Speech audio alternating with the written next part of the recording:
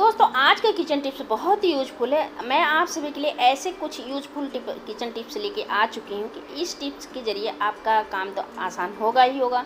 और दोस्तों, साथ ही साथ टाइम भी बचने वाले हैं। तो दोस्तों, आज मैं ऐसे अमेजिंग टिप्स लेके आ चुकी हूँ। चलिए टिप्स को शुरू कर लेते हैं। नमस्कार दोस्तों क्रिएटिव क्राफ्ट में आप सभी का स्वागत है। पहला है टिप दोस्तों, ये जो मिक्सी का जार है, इसको ले लीजिए।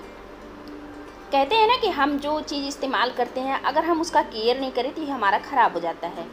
तो इसके लिए क्या करना है दोस्तों, जब हम चलाते हैं तो आपने देखा होगा जो ये मिक्सी जार का ये जो ब्लेड होता है यहाँ नीचे से, ये धीरे धीरे हमारा जाम होने लगता है। तो क्या करना है, आपको चम्मच से आप कोई भी तेल इसमें ऑयल डाल सकते हैं। देखिए, खाने वाला ही तेल डालना है, ये नहीं कि मशीन का तेल डाल देना है इसमें। तो मैंने ज़रा से तेल इसमें डाला हुआ है, चाहे सरसों का या रिफाइंड, कोई सा भी ऑयल डाल सकते हैं। अब डालने के बाद आप देख पा रहे होंगे, ये जो मेरा ब्लेड था, जार का, ये काफ़ी हार्ड हो रहा था। तो इसको डालने के बाद ये थोड़ा काफ़ी मुलायम भी हो चुका है। ये मतलब सरल हो चुका है। अब पीछे से इसको अच्छी तरीके से इसको घुमा के प्रेस कर लेना है। अब आप देखेंगे कि इस तरीके से बिल्कुल ये काफ़ी इजली ये सरल हो चुका है।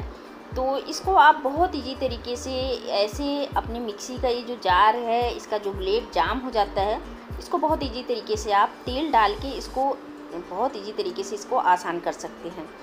जब भी दोस्तों हम सिंदूर को इस्तेमाल करते हैं लिक्विड सिंदूर तो आपने देखा होगा कि जो लिक्विड सिंदूर होता है, हम इस्तेमाल करते हैं लेकिन ये सूख जाता है। तो इसके लिए एक छोटा सा ट्रिप है दोस्तों कि मुझे क्या करना है।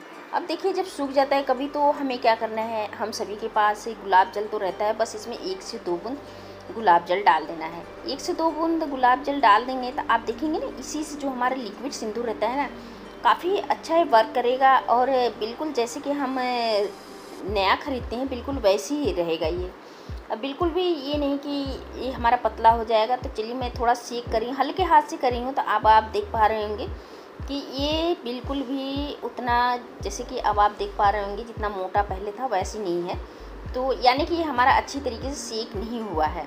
अब इसमें पहले में, अब में काफ़ी अंतर है तो मैं इसको कैप लगा के अच्छी तरीके से करूँगा, जो साइड में चिपक चुका है, इसको मैं छोड़ा देती हूँ।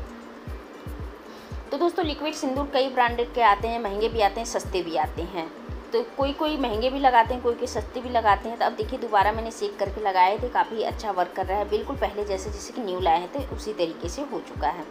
आई होप दोस्तों कि छोटा सा ट्रिक है, आप सभी को ज़रूर पसंद आया होगा। पसंद आए वीडियो को लाइक भी कर दीजिएगा चैनल पहली बार सब्सक्राइब अब देखिए, इस तरीके से जो साबुन हम अपने बाथरूम वगैरह में इस्तेमाल करते हैं, हम नहा तो लेते हैं, लेकिन बारिश के मौसम में हवा तो चलती नहीं है, ना ही ज़्यादा धूप होती है। अब क्या होता है कि साबुन हमारा धीरे धीरे काफ़ी गल चुका है। अभी धीरे धीरे काफ़ी गल चुका है तो इसको, अब दोस्तों हम क्या करते हैं कि इसको कितने भी रख दे, सारा दिन में भी ये साबुन नहीं सूखता है। तो इसी के लिए एक छोटा सा ट्रिक ये है कि जब भी साबुन आप टॉयलेट वगैरह में इस्तेमाल करते हैं तो ये हमारा साबुन सारा दिन गीला ना रहे। तो इसी के लिए एक छोटा सा ट्रिक है कि हमारे पास बोतलें तो पड़ी रहती हैं बस एक बोतल का कैप ले लेना है, एक बोतल का कैप इस तरीके से साबुन में अटैच कर देना है। अब आप देखेंगे साबुन में लगा देंगे और साबुन को पलट के रख देना है। ये हमारा साबुन बिल्कुल भी नहीं गलेगा और नीचे से भी हवा लगती रहेगी। अब देखिए मैंने कटोरी में पानी ले लिया है। अब पानी लेने के बाद मैं इसमें एक चीज़ ऐसा इसमें इस्तेमाल करने वाली हूँ, वो है कोई भी इस तरीके से आप पाउडर ले लीजिए। अब देखिए कोई भी आपके घर में जो भी पाउडर आप इस्तेमाल करते हैं, वो भी पाउडर ले सकते हैं। तो मैंने एक चम्मच के लगभग इसमें पाउडर डाल दिया है और डालने के बाद, अब मैं इसको चम्मच से अच्छी तरीके से इसमें सेक कर लेती हूँ।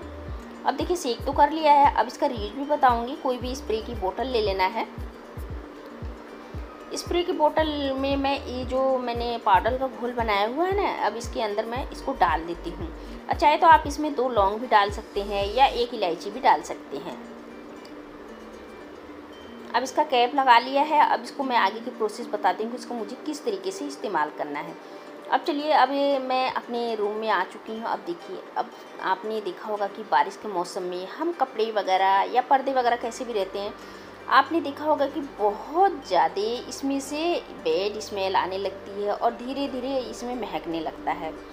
अब कमरे में घुसते ही या तो कमरे में जैसे कोई कोई रूम फ्रेशर रखता है तो इस तरीके से किसी के पास होता नहीं है।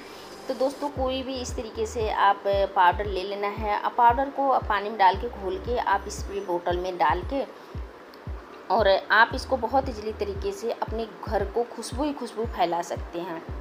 जी हाँ। अब देखिए, मैं स्प्रे कर दे रही हूँ, पर्दे वगैरह पे। ये हमारा बिल्कुल स्प्रे का ही जो हम क्लीनर अपने घर में लगाते हैं इसी तरीके से ये बिल्कुल वर्क करेगा। तो इस ट्रिक को दोस्तों आप एक बार ज़रूर ट्राई करके देखिएगा, जो हम रूम फ्रेशनर लगाते हैं, वही वर्क करेगा। अब देख लीजिए, अभी जो कोलगेट वगैरह होते हैं टूथपेस्ट के ब्रश ये ढक्कन होते हैं अब क्या करते हैं कि इसको ख़राब समझ के फेंक देते हैं। तो दोस्तों, आज के बाद आप इसको बिल्कुल भी नहीं ख़राब समझ के फेंकेंगे। अब देखिए, मेरे पास तो ये खाली था और ये छोटे टूथपेस्ट का है ये ढक्कन। आप चाहे तो बड़े भी ले सकते हैं। तो हम क्या करते हैं, इसको ख़राब ही समझ के फेंक देते हैं।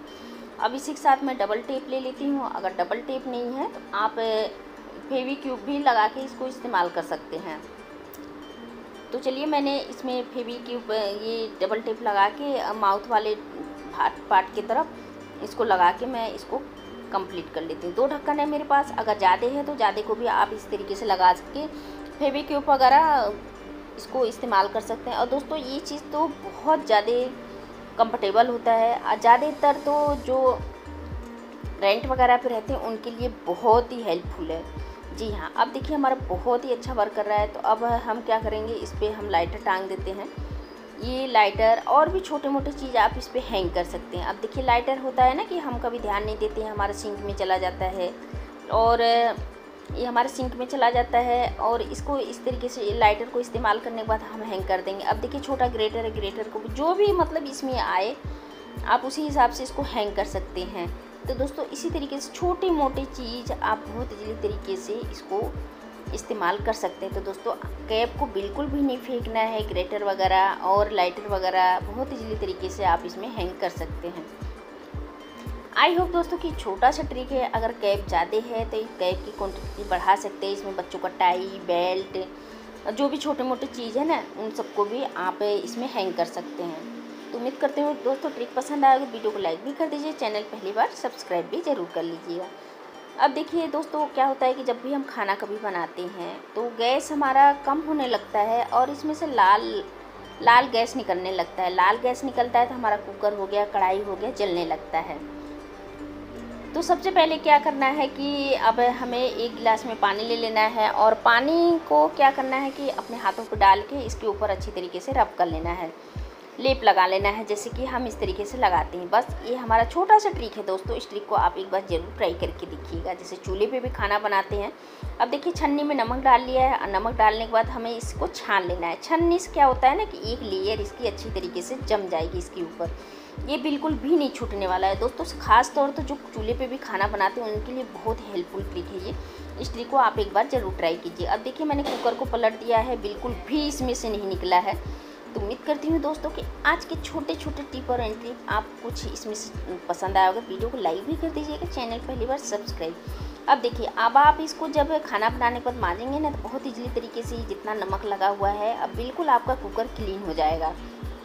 मैं आपको दिखाती हूँ कि देखिए, काफ़ी अच्छा ये वर्क गया है। नमक से बिल्कुल भी हमारा बर्तन नहीं जलता है। तो दोस्तों, इस ट्रिक को आप एक बार ज़रूर ट्राई करके देखिएगा। पसंद आता है वीडियो को लाइक भी कर दीजिएगा। चैनल पहली बार सब्सक्राइब तो मिलते हैं। इसी तरीके से एक नेक्स्ट वीडियो में।